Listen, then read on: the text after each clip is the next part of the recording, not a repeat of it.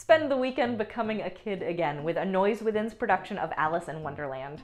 Relive all the magic and wonder of Lewis Carroll's whimsical dreamland where reality and logic have gone completely out the window, and Alice has to find her way through a maze of eccentric characters and wild experiences. You can see all your favorite characters the White Rabbit, the Mad Hatter, the Cheshire Cat, the Queen of Hearts.